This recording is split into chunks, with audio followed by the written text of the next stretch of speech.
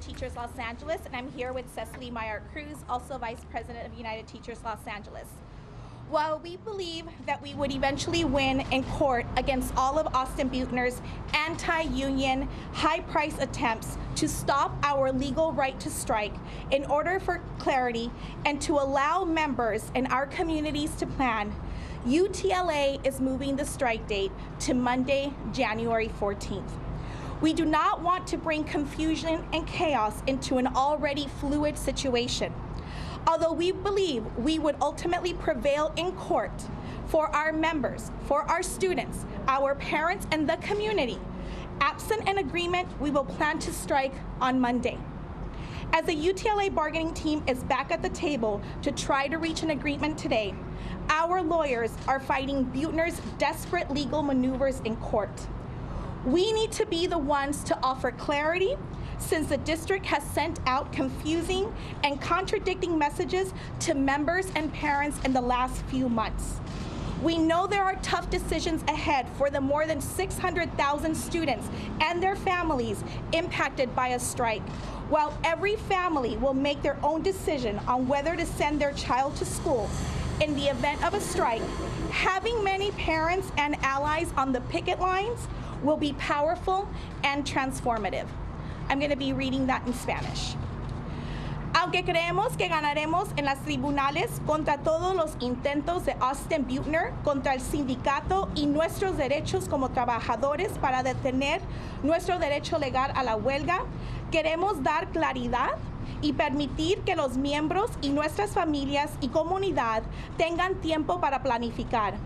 UTLA está moviendo la fecha de la huelga para el lunes 14 de enero.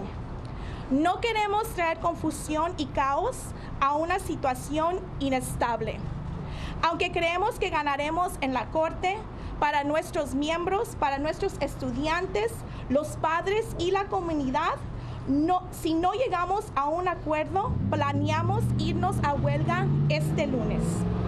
Como nuestro equipo de negociación está de vuelta en la mesa intentando de llegar a un acuerdo hoy, Nuestros abogados están luchando contra las maniobras legales y desesperadas de Buettner en la Corte.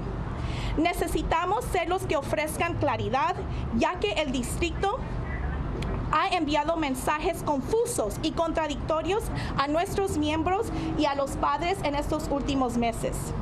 Sabemos que hay decisiones difíciles por adelante para las más de 600 mil estudiantes y familias afectadas por una huelga. Cada familia debe tomar su propia decisión sobre si enviar a su hijo a la escuela en caso de una huelga. Sabemos que tener que tener muchos padres y aliados en las líneas de piquete será poderoso y transformador para nuestros estudiantes. All right. Cecily Myart-Cruz, UTLA NEA Vice President. So, once again, LAUSD is spreading lies and misinformation to the public and to our members. So, here are the facts behind the latest proposal. LAUSD says 1,000 more educators. The truth is that's a drop in the bucket when it comes to our students' needs, and it represents less than 5% of this record breaking district reserve. The proposal would provide less than one additional staff person, supposedly for a class size reduction and health and human services. It is a one year proposal allowing Austin Beutner, who has downsized many entities in the past, to hire and then downsize uh, one year later to this portfolio plan to privatize. In addition, it's not enough. LAUSD says additional funding to reduce class size. The truth? The funding is one and the same as I just said above. To cover both class size and health and human services, that is unacceptable. The district proposal actually would permanently raise class size to as many as 46 in secondary and 39 in elementary school. The proposal also wants to put section 1.5, which allows them to unilaterally raise class size, in this case above 46 and 39 students. It puts that on steroids. LAUSD says it's getting rid of this onerous clause, but it's actually including more conditions under which the district, district can unilaterally raise class sizes further.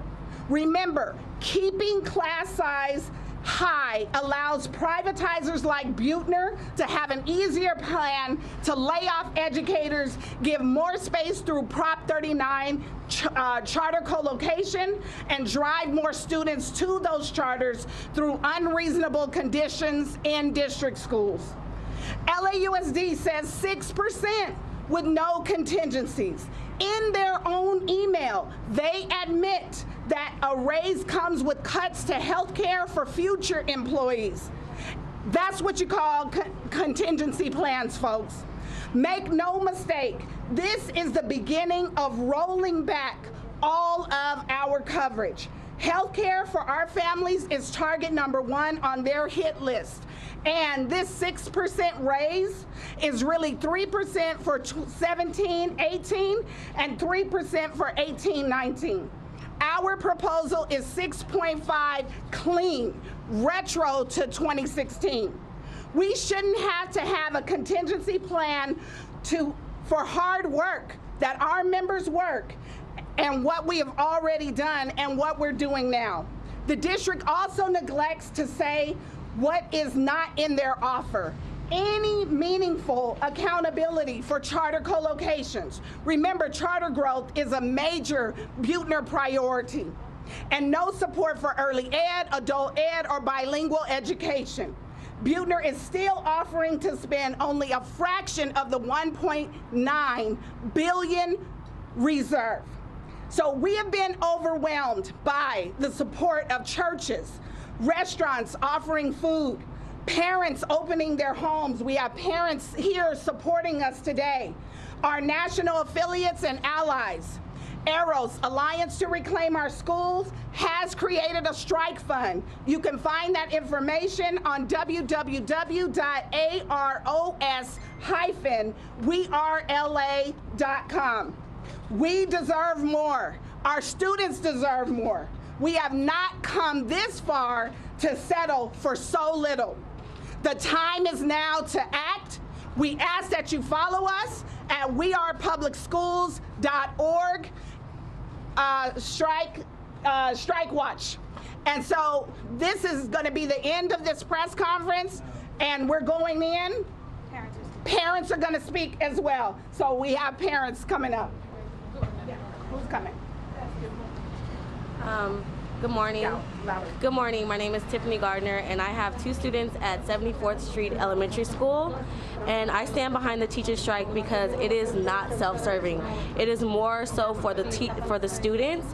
And as a parent, they're asking for things that I want as a parent. Um, I have a child who is in special ed whose services are very limited and we need better um, support and we need better funding for classroom sizes for special ed as well as um, class sizes for the regular um, elementary level students. We need more nurses at our schools we have a nurse one day a week at my school. We don't have enough counselors. So if you need services, they're just not available in a timely fashion. So everything that the teachers are asking for is something that I, as a parent, have been fighting for myself, and that's why I stand behind the strike. Can I have your name, please? My name is Tiffany Gardner. T I F F A N I Y, Gardner, G A R D N E R. Thank you. Hello, I'm Mark Brown. Click the ABC7 logo to subscribe to our Eyewitness News YouTube channel.